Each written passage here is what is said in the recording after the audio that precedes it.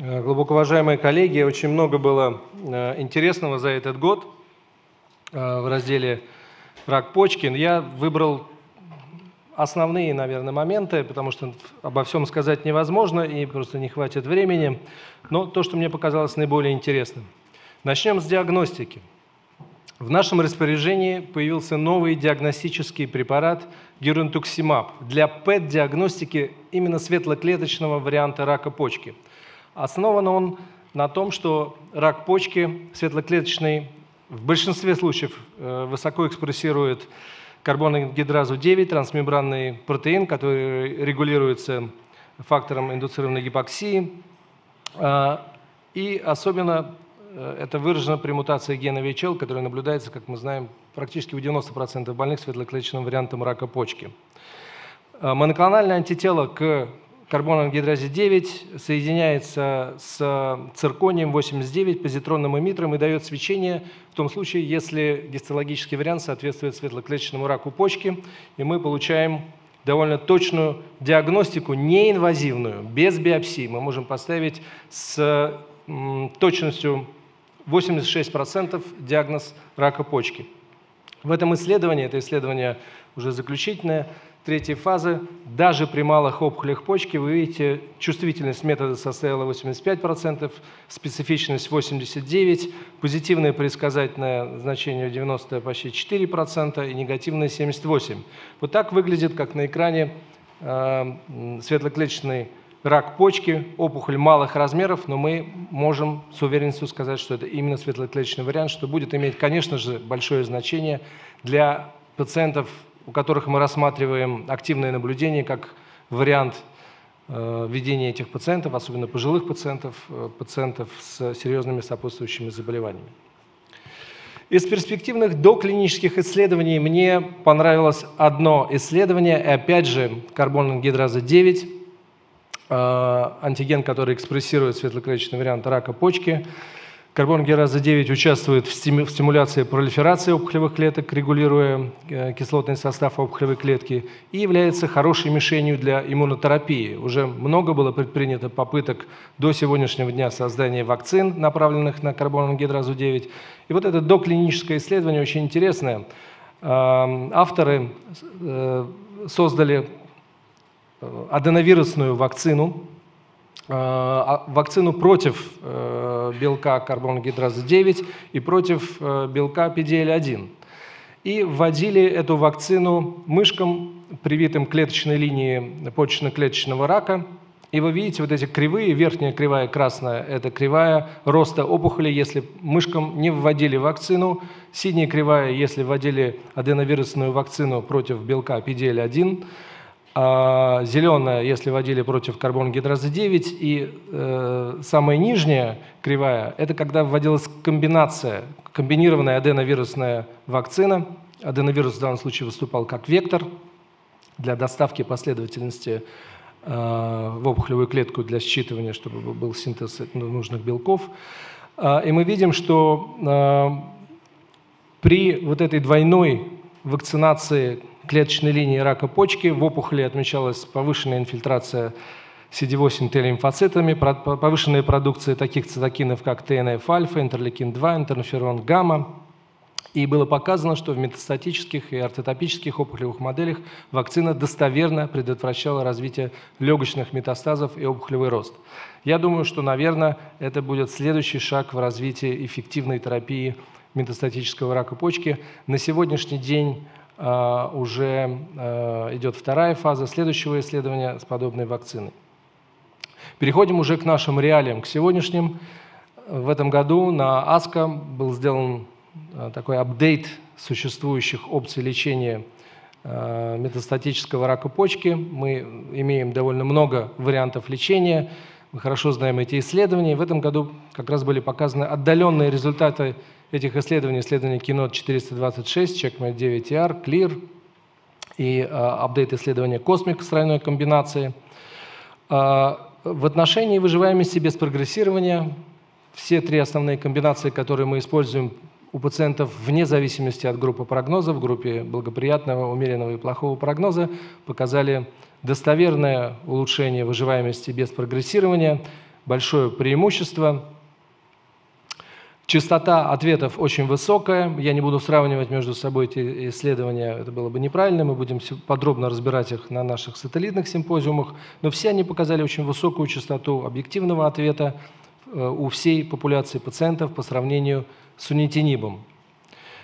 А, в отношении, однако, общей выживаемости наметилась тенденция тому, что кривые общей выживаемости, вы видите исследование Кино 426, исследование CLEAR, кривые сближаются и даже пересекаются между собой. Если вы посмотрите на медиану общей выживаемости в исследовании CLEAR, то она не отличается у пациентов, получавших сунитинип, и пациентов, которые получали комбинацию ленвотинип и эмбролизумаб. Может создаться ложное впечатление, что, может быть, не нужно назначать двойную комбинацию пациентам. И, конечно же, мы в поиске объяснения, почему это произошло. И э, одним из объяснений этому является тот факт, что в группе благоприятного прогноза мы видим и комбинация окситинип пембролизумаб, и, оксин, и комбинация ленвотинип пембролизумаб э, не дает преимущества в отношении общей выживаемости в группе благоприятного прогноза. Эти пациенты живут дольше всех, соответственно, после 4-5 лет наблюдения пул этих пациентов становится преобладающим, и поэтому эти кривые сходятся. Но это не означает, что эти Э, комбинации неэффективны. И действительно, в группе благоприятного прогноза на сегодняшний день ни одна из существующих комбинаций не показала достоверного увеличения общей выживаемости. Видите, hazard ratio везде э, больше единицы. Э, поэтому мы будем на нашем конгрессе сегодня, завтра обсуждать как раз в особенности вопросы лечения пациентов с благоприятным прогнозом, стоит ли им назначать комбинированные режимы или, может быть, стоит ограничиться ингибиторами тирозинкиназ. Новые подходы, новые комбинации и исследование «Космик» э, было доложено в прошлом году уже предварительные результаты, в этом году НАСКО были доложены Э, уже финальные результаты исследования, комбинация ниволумаба с эпилимумабом плюс-минус кабазантинип, который должен был улучшить результаты лечения пациентов в группе промежуточного и плохого прогноза. И действительно, мы видим в отношении выживаемости без прогрессирования достоверное преимущество у пациентов, которые получали тройную комбинацию ИПИ-НИВА плюс кабазантинип. Но если мы посмотрим на подгрупповой анализ, то в группе плохого прогноза, где мы ожидали улучшения общей выживаемости, э, выживаемости без прогрессирования, мы видим отсутствие различий. Поэтому судьба этой комбинации, не знаю, что будет дальше. Также мы будем обсуждать это, поэтому всех призываю э, к посещению всех сателлитных симпозиумов, где подробно мы будем э, изучать в том числе и эту комбинацию. И э, обращаю внимание, что несмотря на то, что в группе промежуточного прогноза преимущество действительно есть, как в общей популяции, частота нежелательных явлений существенно выше. Поэтому вопрос большой, стоит ли ее назначать. А в этом году перед Конгрессом АСКО было проведено голосование экспертов э, по лечению рака почки, стоит ли повторно назначать ингибиторы контрольных точек иммунного ответа, если пациенты уже получали их в первой или второй линии терапии.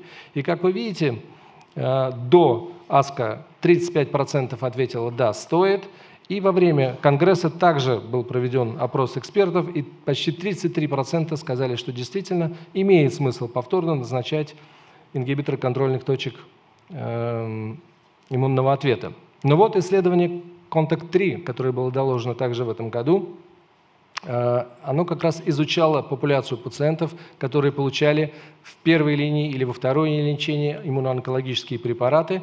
Пациентам назначался кабазантинип как стандарт, плюс-минус атезолизумаб, ингибитор PDL-1.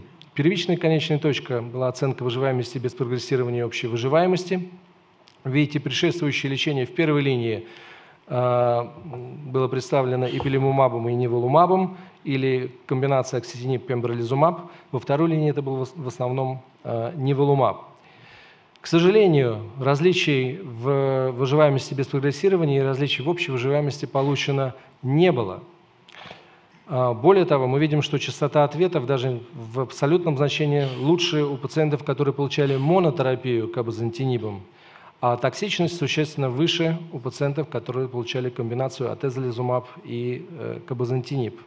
Таким образом, Контакт 03 – это первое рандомизированное исследование, которое показало отсутствие преимущества в повторном назначении ингибиторов контрольных точек иммунного ответа при прогрессировании после первой и второй линии терапии, которая включала один из ингибиторов контрольных точек иммунного ответа. Конечно же, это, наверное, требует подтверждения. Тезлизумаб – это пока только один препарат, но, тем не менее, это важный сигнал к тому, чтобы не назначать повторно ингибиторы контрольных точек иммунного ответа.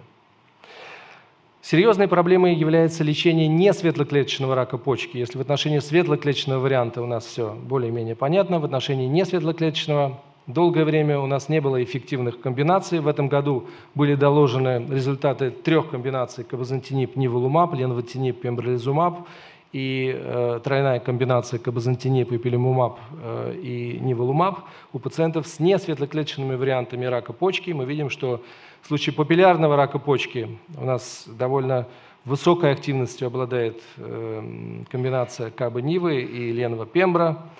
А в отношении транслокационной формы довольно редкой, но тем не менее она встречается. Э, хорошо себя показала комбинация кабазантинип, неволумаб и линотинип, пембролизумаб. Э, при неклассифицированном раке почки комбинация кабазантинип, неволумаб, линотинип, пембролизумаб в отношении хромофобного рака почки это была основная проблема, потому что никакие препараты, никакие комбинации практически не работали. Но вот э, ленвотинип, э, ингибитор тирозинкиназ, э, который исследуется как в комбинации с аверолимусом, так и в комбинации с пембролизумабом, показал довольно высокий ответ.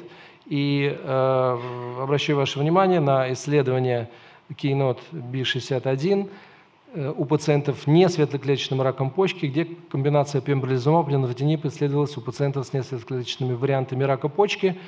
И самое главное, что у пациентов с хромофобным вариантом ответ, общий э, объективный ответ составил 28%, что, в общем-то, очень-очень неплохо для этого варианта рака почки.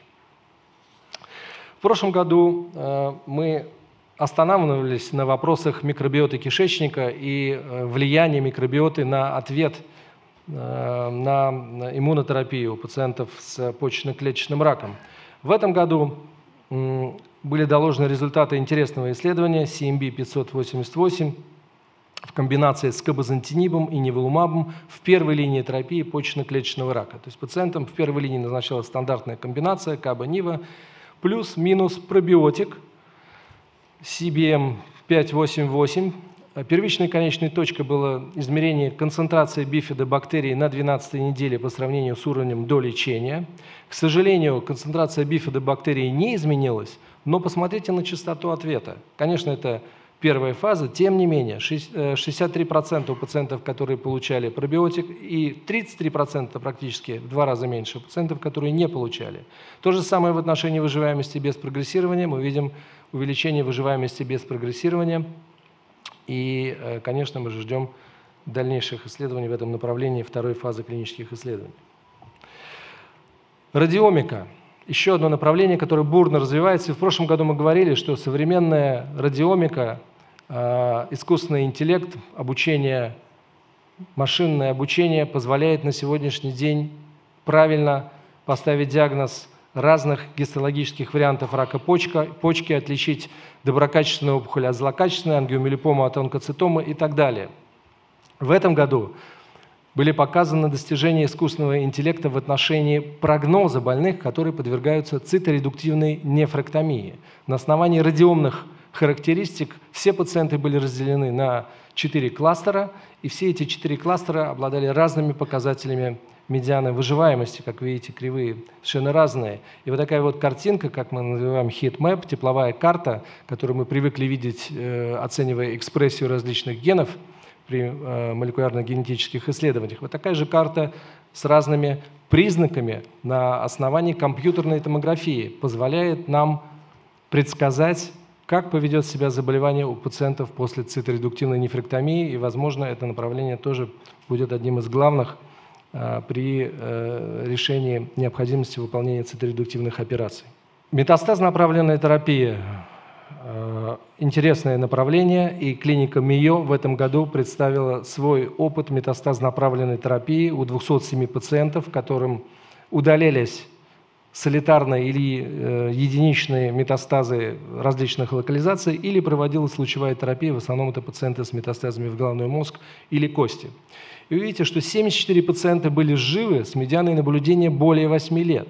Медиана общей выживаемости через 8 и 10 лет составила 37 и 32%, канцер специфической выживаемости 44 и 42% через 10 лет – это к вопросу о том, нужно ли проводить метастаз-направленную терапию пациентов с ограниченным числом метастазов. Неблагоприятными факторами прогноза оказались синхронные метастазы, ИКОК больше двух, два и больше, и наличие костных метастазов. Тем не менее, конечно же, мы должны всегда рассматривать пациентов как кандидатов для мультидисциплинарного лечебного подхода с ограниченным числом метастазов. Перспективные новые препараты. В прошлом году я уже говорил о препарате Beteraccept. Beteraccept является специфическим ингибитором AXL. AXL, э, так же как и рецептор AXL, так же как и рецептор VEGF, является одним из важнейших рецепторов, активирующих сигнальный путь при э, почечно-клеточном раке. Чем интересен Бетераксепт. Он интересен тем, что помимо того, что э, появился препарат, который, видимо, будет очень перспективным у пациентов со светлоклеточно-почечно-клеточным раком, в случае Бетерасепта уже есть потенциальный биомаркер, это соотношение растворимого аксел с, со своим легандом ГАЗ-6, и это соотношение позволяет прогнозировать ответ. Мы видим, что у пациентов с высоким соотношением Аксел ГАЗ-6 больше 2,3.